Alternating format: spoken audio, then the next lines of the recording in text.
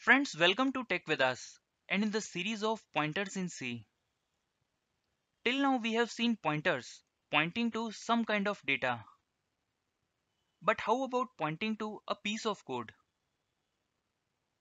While talking about advanced pointer concepts, function pointer stands always in the top of the list.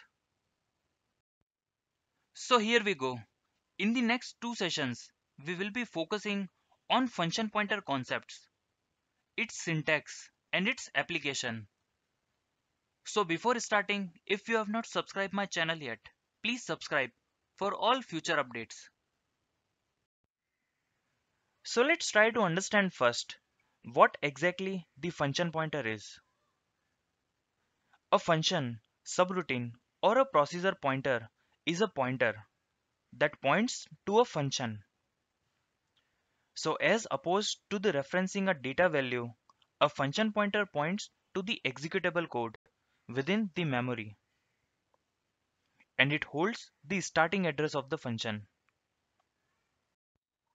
So here the whole idea is instead of calling a function by its own name, we can call it using a function pointer.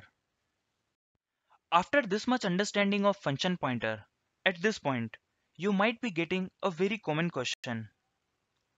Why we need a pointer to a function if we can call it directly?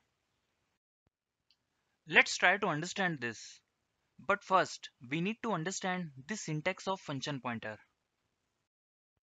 Similar to a function which contains the return type and the list of arguments, a function pointer must also be compatible with the function which it is going to point means the function pointer must have exactly the same return type and the list of arguments.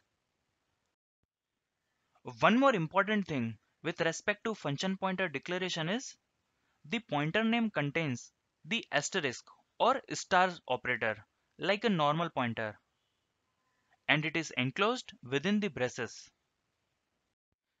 Keeping braces is very important with respect to function pointer declaration as no braces means a function which is returning a pointer as shown in the first declaration.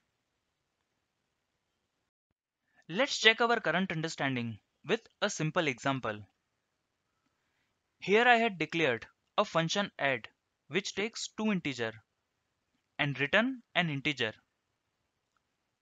So now if we want to call this function with a function pointer, we need to declare a function pointer which takes two integer and return an integer.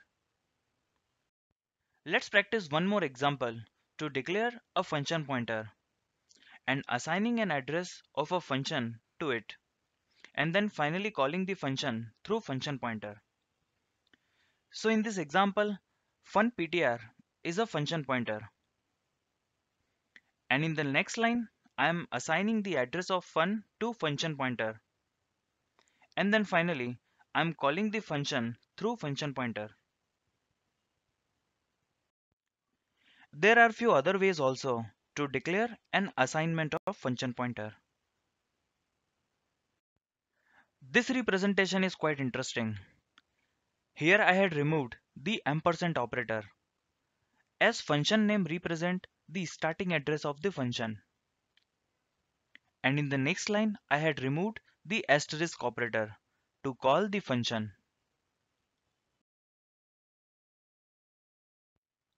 So friends, here we come to the end of this session. In the next session, we will talk about function pointer applications in detail.